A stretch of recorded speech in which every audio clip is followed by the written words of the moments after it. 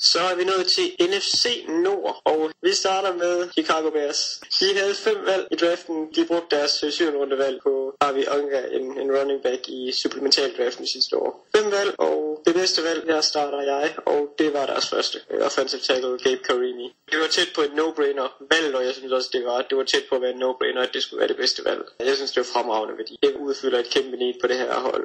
Jeg kunne ikke se, at de kunne tillade sig at gå, gå i andre retninger med, med så god værdi på det her tidspunkt. Og det var jo angiveligt også sådan, de prøvede at trade op efter med Ravens i, i den der famøse kiksede trade, der, der ja. så endte med. Og Den kommer vi ind på igen senere. den kommer vi ind på på et senere tidspunkt, ja. Men ja, jeg siger. Jimmy. Ja, jeg synes jo så ikke, det var en no-brainer, fordi at jeg er ikke solgt på ham som left tackle. Jeg mener, han bliver, han bliver right tackle, måske endda guard i NFL. Og i øvrigt så havde jeg Derek Sherrod over ham i mine rangeringer. Men når det så er sagt, synes jeg, at det er udmærket valg. Altså, de manglede en offensive tackle, eller en offensive lineman i hvert fald, og det fik de trods alt. Mit bedste valg, det falder på defensive tackle Steven Paella, som vi tager i anden runde. Det gør det, fordi at jeg synes, han er en ideel erstatning for Tommy Harris, som øh, ikke bare gik ned i niveau, niveau sidste år, men faktisk hen med blive fyret. Steven Paella, han er den her one gap defensive tackle, dygtig til at penetrere den offensive linje, så de bruger deres defensive tackle til hos Chicago. Så synes jeg, han er rigtig, rigtig godt fedt. Måske det lille hey, at de var nødt til at handle op efter ham. Jeg synes ikke, at han er noget ideelt fit, og det er egentlig grunden til, at jeg ikke har ham som det bedste valg. Jeg synes, han er fantastisk god værdi, og jeg kan rigtig godt lide ham som spiller. Han skal nok blive en god starter for dem. Jeg synes ikke, at han er den pass rusher, som var det, jeg ville søge til, til Bears' defensive linje, efter jeg mistede Tom Harris. Ej, mit bedste valg, det falder på Gabe Karimi, som jeg også umiddelbart havde som bedste spiller på brættet overhovedet øh, på daværende tidspunkt. Og han er, og det er egentlig grunden til, at jeg har ham over Derek Sherrod for lige præcis Bears, det er, at han er klar til at starte i NFL lige nu. Bears, de føler efter sidste sæson, at de godt kan konkurrere med fremme i toppen, og Karimi, han kan komme ind og forstærke deres offensive linje fra dag 1, som jeg ser det. Det er jo godt være, at han på, han på sigt bliver right tackle. Det er umiddelbart nok hans bedste fit, men til gengæld så har han også potentiale til at blive en af, af ligaens rigtig, rigtig gode right tackles. Så med 29. valget, selv hvis han skulle ende på den højre side, så synes jeg, det er fremragende værdi. Hvad var så knap så fremragende værdi, Jonsson? Det var Chris Conte i tredje runde, men, men i modsætning til mange andre, så var det ikke fordi, at jeg synes, at det er for tidlig valg, eller at Chris Conte han ikke var et spændende valg, fordi jeg synes faktisk, at Chris Conte han var en meget, meget, meget interessant safety, der har spillet linebacker i college i rigtig, rigtig lang tid, og først lige taget skridtet om til safety, og har gjort det forrygende, taget betragtning af, hvor lidt erfaring han reelt set har som safety. Problemet det er, at Bears de har vist rigtig, rigtig dårlig evne til at udvikle deres upolerede defensive back talenter. Den kategori for må Chris Conte falde ind under. Så han er et dårligt fit til Bears, fordi at jeg ikke stoler på, at de kan finde ud af at udvikle ham. Ellers så vil han være et, et fremragende valg. Jeg synes faktisk, det er ret dårlig værdi, de får for ham, og jeg synes klart, det er deres dårligste valg. Som du har også inde på, jeg synes faktisk, han er en spændende nok spiller, men han er så ro, og du, du har jo selv givet begrundelsen for det. Jeg synes ikke, det er tredje runde valg værd. Jeg synes, det er en meget, meget dårlig værdi. Jeg er enig, og derudover synes jeg også bare, at de havde større needs end en safety, og de kunne have fået bedre værdi på, på andre positioner med det valg, så derfor er jeg også på Wisconsin som det dårligste. Så kan man sige, med sleepervalgene, der, der begrænser vi os selv lidt, i og med, at vi, vi har lagt os fast på, at det skal være spillere, der bliver taget på tredje dagen, og her tager Bears kun to. Mit valg, det falder på JT Thomas.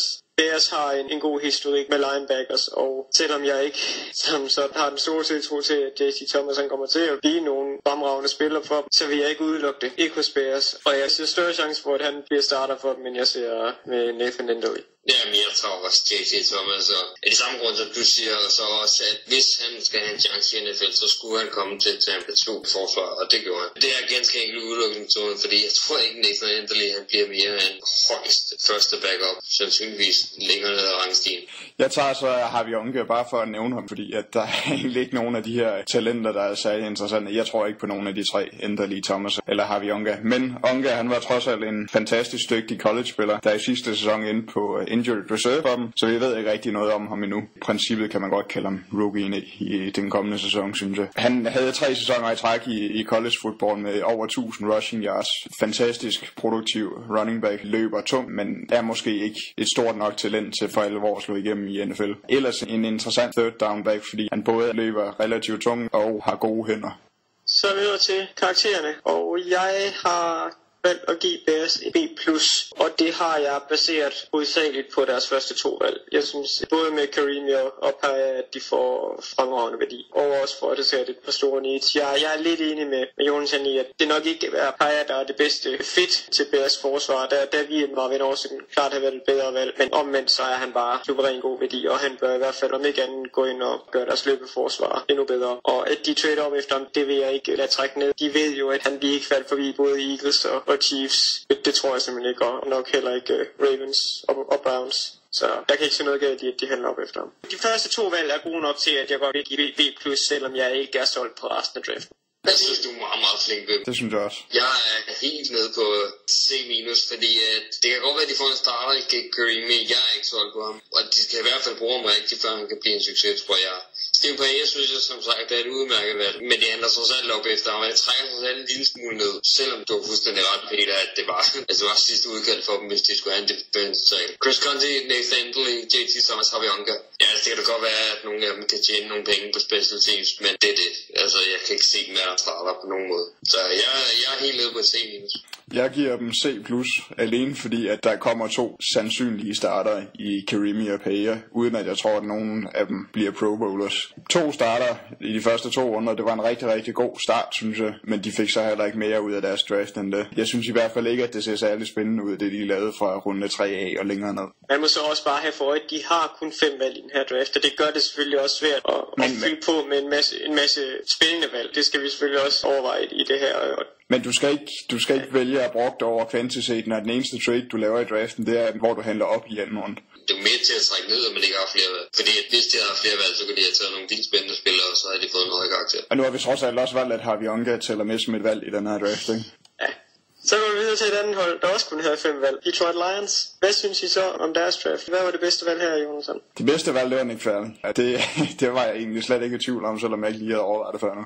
Nej, Nick Fairley, han er et fantastisk valg. Ikke fordi, at jeg umiddelbart er 100% solgt på ham. Jeg kan godt forstå, hvorfor han faldt, fordi der er de bekymringer. Men med nummer 13, der har han simpelthen for, for stor potentiale til, at jeg kunne lade ham gå på derværende tidspunkt. Jeg synes, at han havde fantastisk værdi, fordi når man så ham i, i college, der var der altså nogle kampe, hvor han dominerede i en så uhyggelig grad, som jeg næsten ikke har set lignende, bortset lige fra hans kommende holdkammerat Su. Jeg har sagt det til nogle stykker efterhånden. Jeg synes, at de to sammen, det har potentiale til at blive den bedste pass rushing defensive tackle, du jeg nogensinde har set. Det kan så også godt være, at han, at han slår fejl tage risikoen. Det var 100% det, det der. Og jeg frygtede så, at de ville tage en pass rushing defensive end i, i anden runde også, fordi så ville Lions pludselig have den mest spændende defensive linje i NFL. Jeg er fuldstændig enig. Man snakker altid om, at et givet hold farligste pass rush, det kommer enten fra defensive end, eller fra outside lineback i 3-4 forsvar. For Lars, der kommer det altså fra, øh, fra indersiden af forsvaret med at der var Su, som havde måske den bedste rookie-sæson nogensinde, og så Nick Fairley, som havde en vanvittigt dominerende sæson hos Auburn. Netop som pass rushing defensive tackle. Og sætte de to sammen, det er, det er tæt på at være urimeligt over for, øh, for modstandernes offensive koordinator. Det er god værdi. Jeg vil ikke kalde det fremragende værdi. Det er god værdi, og det er potentielt et fremragende valg, netop fordi man sætter de to sammen. Det eneste, man kan sige, det er, at de måske ikke komplementerer hinanden perfekt, men der har det bare sådan, at Su, han er så solid en spiller på alle mulige områder, at man næsten kan bruge hvilken som helst spiller ved siden af ham. Jeg er delvist enig. Jeg har ikke taget Nick Fairley, men jeg synes også, det er et fint valg. Vi snakkede jo om det op til draften. Henrik, du snakkede jo om, at Fairley han godt kunne gå hen og falde ud af top 16, og der nævnte jeg også nogle af de hold, som jeg ikke mente vi tage ham, og der nævnte jeg faktisk Lions, fordi at de havde en Duncan Sue. Og jeg synes netop, at det de får i Fairley, det er hvad de allerede har i en Duncan Sue. De kan selvfølgelig bruge både Fairley og Sue på tredje downs til at give et urimeligt pass rush, og jeg siger bare Stakkels Jay Cutler og Stakkels Christian Ponder og Stakkels Aaron Rodgers, hvis Packers indvendige del af linjen ikke holder stand også. Det er en rigtig, rigtig farlig duo, og Jim Swartz, han skal sgu nok kunne få noget ud af den her duo. Men mit bedste valg, det er faldet på deres anden, anden runde valg, nemlig running back med Shore. Og det er det, fordi jeg anså Shore som et potentielt første rundevalg, og i værste fald et tidligt anden rundevalg. Og han kommer til at komplementere Javid Best rigtig godt, og det kan tage noget pres væk fra Matthew Stafford, og det er sgu lidt det, de har brug for. Jeg synes, det var fremragende valg. Fuldstændig enig. Jeg synes også, Michael LeShaw, han var fantastisk og rigtig, rigtig god værdi, som du siger, og man kan næsten ikke finde en spiller, der komplementerer bedst bedre, end, end LeShaw gør. Nej, det kan man nemlig ikke, og i sidste sæson, der drev de næsten rovdrift på Jared Best, fordi Kevin Smith, han komplementerede ham ikke særlig godt.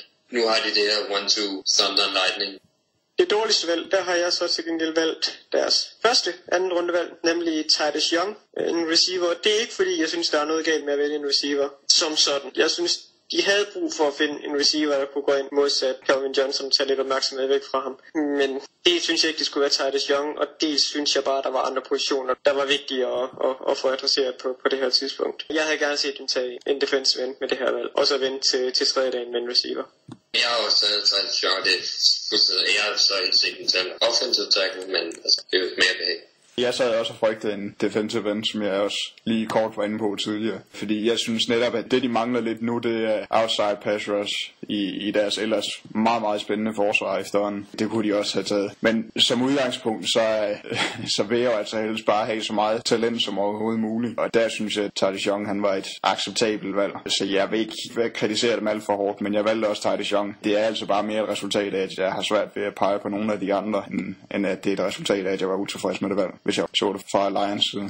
I øvrigt som en lille sidekommentar, der kan man jo sige, at de må et eller andet sted forventes at være en ret stor spiller i kampen om Nam Kasumar. Fordi de ser jo direkte, at de gik ind til draften med cornerback og deres største need. Og de er ikke den eneste cornerback. Selvom i øvrigt Prince Mukamara var der. Det er også en anden ting i det, det, det kan vi komme tilbage til, når vi, når vi skal snakke karakter. Det kommer jeg i hvert fald. Sleepervalg, hvad siger I der? Jamen, jeg tager øh, Johnny Colbert, som de tog syvende runde offensive tackle. De har begrænset også, fordi de kun har fem valg i den her draft. Og jamen, jeg synes, offensive tackle, det var værd at tage allerede i anden runde, som sagt. Så er jeg syvende runde. Det er ikke fordi, jeg ser det store lys i ham, men jeg ser absolut ikke noget lys i Douglas Hope. Så jeg tager Johnny Colbert. Jeg er svært ved at sige det, fordi mens de ikke tog nogen dårlige spillere i starten af draften, så tog de heller ikke nogen spændende sleepers. Jeg kan ikke se noget som helst i øh, Johnny Colbreth. Hoke har jeg valgt at tage som sleeper, men det er udelukkende i mangel af bedre udelukkende, fordi at han er en god atlet, der måske kan blive en god special teamspiller. Han bliver aldrig, aldrig nogensinde en, en god linebacker. Og det er jeg enig i. Jeg har også taget Hulk. Og han udfylder et need, det kan man sige, men, men jeg tror ikke, han kommer til at spille. Men i mangler bedre, så er mit valg også faldet på Hulk. Og så kan man sige, at de har også tidligere taget en, en offensive tackle i syvende runde, som jeg har fremhævet som en slivervalg. Han bliver aldrig sådan noget. De, de må tage en offensive tackle i, i første runde næste år, når Jeff Baggers han så rent faktisk er free agent. Men det må vi se på til den tid. Nu er vi nået til karaktergivningen. Og hvad siger I der? Et solidt B, blandt andet fordi de kun har fem valg. Det trækker i min bog altså en lille smule ned. Men de får altså Nick Fairley, som jeg, altså der har været at snakke om. det John, han er en eksplosiv spiller, det kan man ikke komme ud. Og så får de et Shore, sure, som giver dem det her one to punch. Som Jonathan også siger, altså, de tre første valg var lige så kedelige, var de to sidste valg. Og så var der så kun femte. Så der var et B.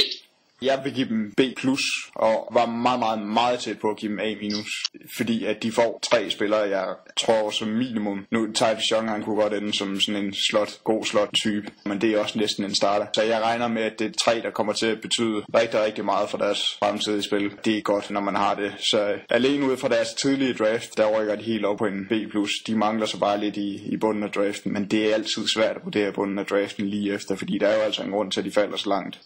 Jeg har også givet B+, og det har jeg øh, egentlig af de samme grunde, som I har nævnt. De får tre gode valg på de første to dage, og de får to mindre interessante navne på tredje dagen. Øhm, jeg savner en defensive end. Jeg savner til dels en cornerback. Jeg anser ikke cornerback for at være helt stor need, som jeg også har været inde på tidligere. Men de får tre spillere, der kan få indflydelse i løbet af de første to runder, og der synes jeg ikke, man kan bede om ret meget mere. Og om ikke andet kan Tardis Young, der gør sig gældende som returner til i karrieren.